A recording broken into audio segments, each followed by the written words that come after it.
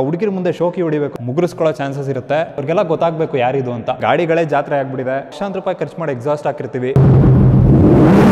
ನಾನು Ronin video ಮಾಡಾಕ್ದಾಗ ಎಷ್ಟೊಂದು ಜನ ಒಳ್ಳೊಳ್ಳೆ ಪಾಸಿಟಿವ್ ಕಮೆಂಟ್ಸ್ ಕೊಟ್ರಿ. ಬಟ್ ನನಗೆ ಒಂದೇನು ಅರ್ಥ ಆಗಿಲ್ಲ ಅಂದ್ರೆ ನಾನು ಅದನ್ನ ಅಷ್ಟು ಸೀರಿಯಸ್ ಆಗಿ ಹೇಳಿದ್ದೀನಿ ನೀವೆಲ್ಲ ನಾನು ಏನೋ ಕಾಮಿಡಿ ಮಾಡ್ತಾ ಇದ್ದೀನಿ ಅನ್ಕೊಂಡು ಐ ಸೂಪರ್ ಗುರು ಕಂಟೆಂಟ್ ಕಾಮಿಕಲ್ ಗುರು ಅಂತೆಲ್ಲ ಹೇಳಿದ್ರಿ. ಈ ಬೈಕ್ ಏನು ನೋಡ್ತಾ ಇದ್ದೀರಾ ಅಲ್ವಾ? ಟೂ ತೌಸಂಡ್ ತರ್ಟೀನ್ ಮಾಡಲ್ ಇದು. ನೋಡಕ್ಕೆ ಎಷ್ಟು ಚೆನ್ನಾಗಿದೆ. ಆದ್ರೆ ಹೊಸ ಬೈಕ್ಗಳಿಗೆ ಏನಾಗಿದೆ ಅಂತ ನನಗೆ ಗೊತ್ತಿಲ್ಲ. ಇವತ್ತಿನ ವಿಡಿಯೋ ವಿಚಾರ ನೋಡೋದಾದ್ರೆ, ಈ ಸೂಪರ್ ಬೈಕ್ಗಳಂತಾನೆ ಅಲ್ಲ ಸೂಪರ್ ಸ್ಪೋರ್ಟ್ಸ್ ಬೈಕ್ ಅಂತ ಹೇಳ್ತಾರೆ. ಆರ್ ಒನ್ ಫೈವ್ ಆಗಿರ್ಬೋದು K T M R C three ninety ಆಗಿರ್ಬೋದು, ಅಥವಾ ಈ ತರ ಬೈಕ್ಗಳಾಗಿರ್ಬೋದು ಇದಕ್ಕೆ ಸೂಪರ್ ಸ್ಪೋರ್ಟ್ಸ್ ಅಂತಾರೆ. ಯಾಕಂದ್ರೆ normal ಬೈಕ್ಗಳಾದರೆ K T M three ninety Duke ಎಲ್ಲ ಆದ್ರೆ ಈ ತರ ಕುತ್ಕೊಂಡು ಓಡಿಸ್ತೀರಾ ನೀವು? ಬಟ್ ಈ ಬೈಕ್ಗಳೇನಾಗಿರುತ್ತೆ, ಸ್ವಲ್ಪ ನೀವು ಬೆಂಡ್ ಆಗಬೇಕು. ಆಗ ಎಷ್ಟೊಂದು ಜನ ಕಂಪ್ಲೇಂಟ್ ಮಾಡ್ತಾರೆ ನನಗೆ ಸೊಂಟ ನೋವಿದೆ ನನಗೆ ಕೈ ನೋವಿದೆ, ಅದು ಇದು ಅಂತ. ಆಕ್ಚುಲಿ ಈ ಬೈಕ್ಗಳನ್ನ ನೀವು ಕರೆಕ್ಟಾಗಿ ಓಡಿಸಿದ್ರೆ ನಿಮ್ಗೆ ಯಾವ ನೋವು ಬರೋದಿಲ್ಲ. ಜಾಸ್ತಿ ಮಜಾ ಕೊಡುವಂಥ ಬೈಕ್ಗಳು ಅಂದ್ರೆ ಇದಾನೆ. ಯಾಕಂದ್ರೆ ಆ ಪೊಸಿಷನ್ ನೀವು ಹೋದ ತಕ್ಷಣ ನೀವು ಫುಲ್ ಇಂಡಲ್ಜ್ ಆಗ್ಬಿಡ್ತೀರಾ. ಕಂಟ್ರೋಲ್ ಮಾಡೋದು ಈಸಿ ಆಗುತ್ತೆ ರೋಡಲ್ಲೂ ಅಷ್ಟೇ ಒಳ್ಳೆ ರೇಸರ್ ತರ ಫೀಲಿಂಗ್ ಬರುತ್ತೆ. ಇವತ್ತು ನಾನು ಈ ತರ ಸೂಪರ್ ಸ್ಪೋರ್ಟ್ಸ್ ಬೈಕ್ಗಳನ್ನ ನೋವಾಗದಿರೋ ತರ ಹೆಂಗ್ ಓಡಿಸ್ಬೇಕು ಅಂತ ಹೇಳ್ಕೊಡ್ತೀನಿ.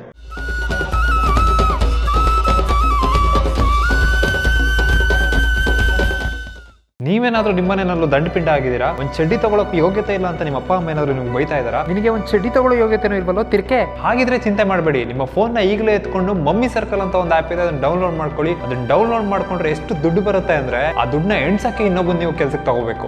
ಬಟನ್ ಒತ್ತಿದ್ರೆ ಸಾಕು ನಿಮ್ಗೆ ದುಡ್ಡು ಬರಕ್ ಶುರು ಆಗುತ್ತೆ. ಅಯ್ಯೋ ಐದ್ ಸಾವಿರ. ಅಯ್ಯೋ ಹತ್ತು ಸಾವಿರ. ಅಯ್ಯೋ ಮೂವತ್ ಸಾವಿರ. ನಿಮ್ಗೆ ಈ ದುಡ್ಡಿಂದ ಒಂದು ಚಡ್ಡಿ ಎಲ್ಲ ಚಡ್ಡಿನ ಸುರಿಮಳೆನೆ ಸುರಿಸಬಹುದು ಈ ತರ ಎಲ್ಲ ಹೇಳೋರ್ ಮಾತನ್ನ ಕಟ್ಕೊಂಡು ನೀವೇನಾದ್ರು ದುಡ್ಡು ಹಾಕ್ಬಿಟ್ರೆ ಬರ್ಬಾದ್ ಆಗ್ಬಿಡ್ತೀರಾ ಬೀದಿಗೆ ಬಂದ್ಬಿಡ್ತೀರಾ. ಅದೇ ದುಡ್ಡನ್ನ ತಗೊಂಡು ಯಾವ್ದಾದ್ರು ಒಂದ್ ಒಳ್ಳೆ ರೈಡಿಂಗ್ ಜಾಕೆಟ್ ಅಥವಾ ಒಂದ್ ಒಳ್ಳೆ ಹೆಲ್ಮೆಟ್ಗೂ ಇನ್ವೆಸ್ಟ್ ಮಾಡಿ. ಯಾರೋ ಒಬ್ಬ ರೀಲ್ಸ್ ಮಾಡ್ಕೊಂಡು ಮಾಡ್ಕೊಂಡೆ ಕಾರ್ ತಗೊಂಡ ಅಂತ ಚೆನ್ನಾಗಿ ಪುಂಕ್ತಾ ಇದ್ರು ನ್ಯೂಸ್ ಚಾನಲ್ ಅವರು. ತರ ರೀಲ್ ಬಿಟ್ಟು ಬಿಟ್ಟು ಕಾರ್ ತಗೊಂಡಿರ್ತಾನೆ ಹೊರತು ಯಾವತ್ತು ರೀಲ್ಸ್ ಮಾಡಿ ತಗೊಂಡಿರಲ್ಲ. ನಾನು ನನ್ನ ಚಾನಲ್ ಅಲ್ಲಿ ಈ ತರ ಯಾವುದೇ ಕಾರಣಕ್ಕೂ ಸ್ಪಾನ್ಸರ್ಶಿಪ್ನ ತಗೊಳ್ಳೋದಿಲ್ಲ ಹೌದು ನನಗೆ ಗೊತ್ತು ಇದರಿಂದ ನನಗೆ ದುಡ್ಡೇನು ಸಿಗೋದಿಲ್ಲ ಅಂತ. ಆದ್ರೆ ಒಂದೇನು ಅಂದ್ರೆ ನಿಮ್ಮ ಸಪೋರ್ಟ್ ನಿಮ್ಮ ಪ್ರೀತಿ ಇದ್ರೆ ಸಾಕು ನನಗೆ. ನಾನು ನಿಮ್ಮ ಟಿಪಿಕಲ್ ಕನ್ನಡಿಗ. ಬನ್ನಿ ವಿಡಿಯೋ ಕಂಟಿನ್ಯೂ ಮಾಡೋಣ. ನೀವು ಟಿಪಿಕಲ್ ಕನ್ನಡಿಗ ಅವರ ಕಂಟೆಂಟ್ಗೆ ವ್ಯಸನಿಗಳಾಗಬಹುದು. ಜವಾಬ್ದಾರಿಯುತವಾಗಿ ಚಂದಾದಾರರಾಗಿ. ಹಿಂದೆ ಸೀಟು ಮೂವ್ಮೆಂಟ್ಗೆ ಅಂತ ಕೊಟ್ಟಿರ್ತಾರೆ. ಆದಷ್ಟು ಸ್ವಲ್ಪ ಹಿಂದೆ ಕುತ್ಕೊಳ್ಳಿ. ನೀವು ಹಿಂಗ್ ಕೂತ್ಕೊಂಡ್ರೆ ನಿಮ್ಗೆ ಇರೋ ಬರೋ ಮೂಳೆ ಎಲ್ಲ ನೋವಾಗುತ್ತೆ. ಎರಡನೇದು ಯಾರಾದ್ರೂ ಸಡನ್ ಆಗಿ ಅಡ್ಡ ಬಂದ್ಬಿಟ್ರು ನೀವು ಈ ತರ ಕುತ್ಕೊಂಡು ಬ್ರೇಕ್ ಹಿಡಿತೀರಾ ಅನ್ಕೊಳ್ಳಿ, ಹಿಂಗ್ ಮುಂದೆ ಹೋಗ್ತಿರಲ್ಲ, ನಿಮ್ ಜನರೇಟರ್ ಹಾಳಾಗೋ ಚಾನ್ಸಸ್ ಗಳಿರುತ್ತೆ. ಎಷ್ಟೊಂದು ಸೂಪರ್ ಬೈಕ್ಗಳಲ್ಲಿ ಅಥವಾ ಆರ್ ಸಿ ತ್ರೀ ನೈಂಟಿಯಲ್ಲಿ ರಬ್ಬರ್ ಹಾಕ್ಸಿರ್ತಾರೆ. ಆ ರಬ್ಬರ್ನ ತೈ ಗ್ರಿಪ್ಸ್ ಅಂತ ಹೇಳ್ತಾರೆ. ಈ ತೈಸ್ ಅಲ್ಲಿ ನೀವು ಗಟ್ಟಿಯಾಗಿ ಟ್ಯಾಂಕ್ನ ಹೋಲ್ಡ್ ಮಾಡಬೇಕು. ಅಂದ್ರೆ ನಿಮ್ ತೊಡೆನಲ್ಲಿ ಇಡ್ಕೋಬೇಕು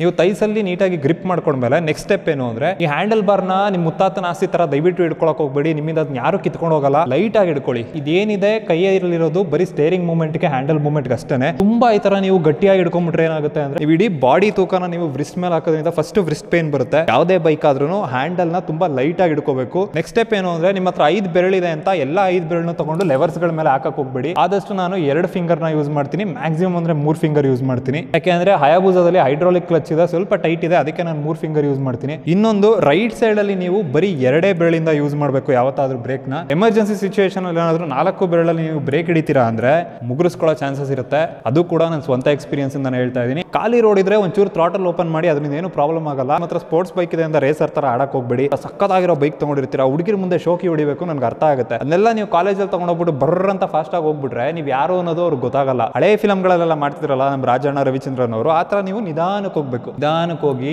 ಸ್ವಲ್ಪ ಆ ಕಡೆ ಈ ಕಡೆ ನೋಡಿ, ಅವ್ರಿಗೆಲ್ಲ ಗೊತ್ತಾಗ್ಬೇಕು ಯಾರಿದು ಅಂತ. ಇನ್ನೊಂದೇನು ಅಂದ್ರೆ ಹೆಲ್ಮೆಟ್ ಹಾಕದೆ ಮಾತ್ರ ಗಾಡಿ ಓಡಿಸ್ಬೇಡಿ, ಮುಖ ತೋರ್ಸೋಕ್ಕೋಸ್ಕರ. ಹೆಲ್ಮೆಟ್ ಅನ್ನೋದು ತುಂಬಾನೇ ಇಂಪಾರ್ಟೆಂಟ್ ಗಾಡಿ ಓಡಿಸಬೇಕಾದ್ರೆ ನೀವು ನಿಧಾನಕ್ಕೆ ಒಂದ್ಸಲ ಹೋಗಿ ಅಬ್ಸರ್ವ್ ಮಾಡಿ ನೋಡಿ ನಿಮ್ ಗಾಡಿನಲ್ಲಿ. ಸುತ್ತ ಇರೋರು ಒಂದ್ಸಲ ತಿರುಗಿ ನೋಡ್ತಾರೆ, ಅದ್ ನಿಮ್ಗೆ ಕಾಣಿಸಿದಾಗ ನಿಮ್ಗೆ ಖುಷಿ ಆಗುತ್ತೆ. ಅದೇ ಫಾಸ್ಟ್ ಆಗಿ ಹೋಗ್ಬಿಟ್ರೆ ರೋಡಲ್ಲಿರೋ ಹಳ್ಳ ಕೊಳ್ಳನೆ ಕಾಣಲ್ಲ, ಜನರಲ್ಲಿ ಕಾಣಿಸ್ತಾರೆ ಗುರು. ನೀವು ಎಲ್ಲಿ ನೋಡ್ತೀರಾ ಆ ಕಡೆ ಗಾಡಿ ತಿರುಗುತ್ತೆ, ಇದು ಸಬ್ ಕಾನ್ಶಿಯಸ್ ಆಗಿ ಆಗುವಂಥದ್ದು ನಿಮ್ಮ ತಲೆಗೆ ಬರೋದಿಲ್ಲ. ಅದಕ್ಕೇನೆ ಗಾಡಿ ಓಡಿಸ್ಬೇಕಾದ್ರೆ ಪೆಂಗ್ ಪೆಂಗ್ ಅಂತರ, ಎಲ್ಲೆಲ್ಲೋ ನೋಡಕ್ ಹೋಗ್ಬೇಡಿ. ಎಲ್ಲಿ ಹೋಗ್ಬೇಕು ಅನ್ಕೋತೀರಾ, ಅಲ್ಲಿ ಮಾತ್ರ ನೋಡಿ ನೀವು. ಸೊ ಇದಿಷ್ಟು ಗಾಡಿ ಬಗ್ಗೆ ಹೇಳಿದಾಯ್ತು. ಗಾಡಿ ಮೇಲೆ ನೀವು ಯಾವ ತರ ಕೂತ್ಕೋತೀರಾ ಅಂತ. ಗಾಡಿನ ಯಾವ ತರ ಇಟ್ಕೋತೀರಾ ಅನ್ನೋದು ಇಂಪಾರ್ಟೆಂಟ್ ಆಗುತ್ತೆ. ಎಲ್ಲರೂ ಇಗ್ನೋರ್ ಮಾಡೋದಾಗಿರ್ಬೋದು ಅಥವಾ ಎಷ್ಟೊಂದು ಜನ ತಲೆಗೆ ಹೋಗಿರಲ್ಲ. ನಿಮ್ಮ ಟೈರ್ ಅಲ್ಲಿ ಇರುವಂತ ಏರ್ ಪ್ರೆಷರ್ ಯಾವಾಗ ಯಾವಾಗ ಪೆಟ್ರೋಲ್ ಹಾಕಿಸ್ತೀರಾ, ಅವಾಗ ಏರ್ನ ಸೆಟ್ ಮಾಡ್ಕೊಳ್ಳಿ. ಟೈರ್ ಅಲ್ಲಿ ಏರ್ ಇದ್ದಾಗ ಸಿಗುವಂತ ಫೀಲಿಂಗೇ ಬೇರೆ. ನೆಕ್ಸ್ಟ್ ಬಂದು ನೀವು ಕ್ಲಚ್ ಆಗಿರ್ಬೋದು, ಇಲ್ಲ ಬ್ರೇಕ್ಸ್ನ ಆಗಿರ್ಬೋದು, ಒಂದ್ಸಲ ಅಡ್ಜಸ್ಟ್ಮೆಂಟ್ ಮಾಡ್ಕೊಳ್ಳಿ. ಶೋಲ್ಡರ್ ಲೈನ್ ಯಾವತ್ತು ಈ ತರ ಸ್ಟ್ರೈಟ್ ಆಗಿ ಬಂದ್ರೆ ನಿಮ್ಗೆ ಓಡಿಸಕ್ ಈಸಿ ಆಗುತ್ತೆ. ಅದನ್ನ ಸೆಟ್ ಮಾಡ್ಕೊಳ್ಳಿ. ಇವಾಗಿರೋ ಗಾಡಿ ಡಿಸೈನ್ಗಳಲ್ಲಿ ಮಿರರ್ಗಳು ತುಂಬಾನೇ ಜಾತ್ರೆ ಬರ್ತಿದೆ. ಗಾಡಿಗಳೇ ಜಾತ್ರೆ ಆಗ್ಬಿಟ್ಟಿದೆ. ನೀವು ಹಂಗೂ ಏನಾದ್ರು ಮಿರರ್ ತೆಗಿಸ್ತೀರಾ ಅಂದ್ರೆ ಇಲ್ಲಿ ಬಾರ್ ಅಂಡ್ ಮಿರರ್ಗಳು ಬರುತ್ತೆ, ಅದನ್ನ ಹಾಕೊಳ್ಳಿ ಬಟ್ ಮಿರರ್ ಅನ್ನೋದು ತುಂಬಾನೇ ಯೂಸ್ಫುಲ್ ಆಗುತ್ತೆ. ಲುಕ್ ಕಾಂಪ್ರಮೈಸ್ ಆಗುತ್ತೆ ಅನ್ನೋದಕ್ಕೋಸ್ಕರ ನೀವು ಸೇಫ್ಟಿನ ಕಾಂಪ್ರಮೈಸ್ ಮಾಡ್ಕೊಳಕ್ ಹೋಗ್ಬೇಡಿ. ಅದೇ ತರ ಫ್ಯೂಯಲ್ ವಿಚಾರಕ್ಕೆ ಬರೋದಾದ್ರೆ, ಇದು ರಿಸರ್ವ್ ಗಿಂತ ಕೆಳಗಡೆ ಬಂದಾಗ ಹಾಕ್ಸ್ಬಿಡಿ. ಯಾಕೆಂದ್ರೆ ರಿಸರ್ವ್ ಅಲ್ಲಿ ಬಂದಾಗ ಎಫಿಷಿಯನ್ಸಿ ಸ್ವಲ್ಪ ಕಮ್ಮಿ ಆಗುತ್ತೆ ಗಾಡಿದು. ಅಂದ್ರೆ ಮಿನಿಮಮ್ ಐನೂರು ರೂಪಾಯಿ ಇರಲಿ. ಐನೂರು ರೂಪಾಯಿನ ಮರ್ತ್ಬಿಡಿ. ಐನೂರು ರೂಪಾಯಿ ಪೆಟ್ರೋಲ್ ಹಾಕಿಸಿ, ಅದ್ರ ಮೇಲೆ ನಿಮ್ಗೆ ಎಷ್ಟು? ಐವತ್ತು, ನೂರು, ಇನ್ನೂರು ಏನ್ ಹಾಕ್ಸ್ತೀರಾ, ಅದನ್ನ ಹಾಕ್ಸ್ಕೊಂಡು ಹೋಗಿ. ಇದು ನೀವು ಮಾಡಬೇಕಾಗಿರೋ ಬೇಸಿಕ್ ಚೆಕ್ಗಳು ಅದೇ ತರ ನಾನು ಇನ್ನೊಂದು ನೋಡಿದೀನಿ. ಗಾಡಿ ಓಡಿಸ್ಬೇಕಾದ್ರೆ ಹಿಂಗೆ ಕಾಲ್ನ ಹಿಂಗೆ ಸೆಟ್ಕೊಂಡು ಅವ್ರ ಹಿಂಗೆ ಹಾಕೊಂಡು ಹೋಗ್ತಿರ್ತಾರೆ. ಈ ಬೈಕ್ಗಳು ಓಡಿಸೋದೇನು ಅಂದ್ರೆ ಕ್ವಿಕ್ ರೆಸ್ಪಾನ್ಸ್ ಇರಬೇಕು. ನಿಮಗೆ ಕಣ್ ಮಿಟಿಕ್ಸ್ ಬಿಡೋ ಅಷ್ಟರಲ್ಲಿ ಅಪಘಾತಗಳಾಗೋ ಚಾನ್ಸಸ್ ಇರುತ್ತೆ. ಶೋಕಿ ಎಲ್ಲ ಬರೀ ಫೋಟೋದಲ್ಲಿ ಮಾಡ್ಕೊಳ್ಳಿ ರೀಲ್ಸ್ ಎಲ್ಲ ಮಾಡ್ಕೊಳ್ಳಿ ರೋಡಲ್ಲೆಲ್ಲ ಶೋಕಿ ಮಾಡಕ್ ಹೋಗ್ಬೇಡಿ. ಟಿಪ್ಪರ್ ಕ್ಲಚ್ ಬರೋಕ್ಕಿಂತ ಮುಂಚೆ ಇರೋ ಗಾಡಿಗಳು ಯಾರ ಇದ್ರೆ ದಯವಿಟ್ಟು ನನಗೆ ಕಮೆಂಟ್ ಮಾಡಿ. ನಾನು ರೆವ್ ಮ್ಯಾಚಿಂಗ್ ಮಾಡೋದು ಹೆಂಗೆ ಅಂತ ಇನ್ನೊಂದು ವಿಡಿಯೋದಲ್ಲಿ ತೋರಿಸ್ತೀನಿ. ಅದೇ ತರ ಹಿಂದ್ಗಡೆ ಕುತ್ಕೊಳ್ಳೋರಿಗೆ ಒಂದ್ ಏನ್ ಹೇಳಬೇಕು ಅಂದ್ರೆ ಕಣ್ಬಿಟ್ಟು ನೋಡಿ, ಇಲ್ಲಿ ಕಾಲ ಹಾಕೊಳಕ್ಕೆ ಅಂತಾನೆ ಕೊಟ್ಟಿರ್ತಾರೆ. ದಯವಿಟ್ಟು ಎಕ್ಸಾಸ್ಟ್ಗಳ ಮೇಲೆ ಕಾಲಿಡಬೇಡಿ ನಿಮ್ ಕಾಲ್ ಸುಟ್ಟೋದ್ರೂ ಪರವಾಗಿಲ್ಲ, ನಮ್ಗೆ ಬೇಜಾರಾಗಲ್ಲ. ಲಕ್ಷಾಂತರ ರೂಪಾಯಿ ಖರ್ಚು ಮಾಡಿ ಎಕ್ಸಾಸ್ಟ್ ಹಾಕಿರ್ತೀವಿ.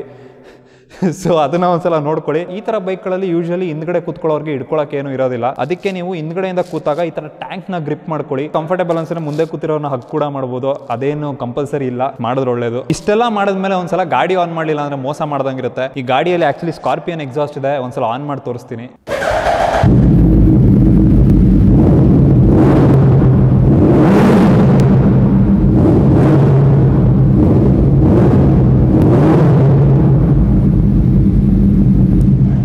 ಬರೀ three thousand R P M ತನಕ ಮಾತ್ರ ರೆವ್ ಮಾಡಿರೋದು. ಇದು ಲೆವೆನ್ ತೌಸಂಡ್ಗೆ ಕಟ್ ಆಫ್ ಇದೆ. ಆ ಥರ ಏನಾದರೂ ಮಾಡಿದ್ರೆ ನಾಳೆಯಿಂದ ನೀವು ನನ್ನ ವೀಡಿಯೋದಲ್ಲಿ ನೋಡೋಕ್ಕಾಗಲ್ಲ ಯಾಕೆ ನಮ್ಮ ತಾಯಿ ನನ್ನ ಮನೆಯಿಂದ ಹೊರಗಡೆ ಓಡಿಸ್ಬಿಡ್ತಾರೆ.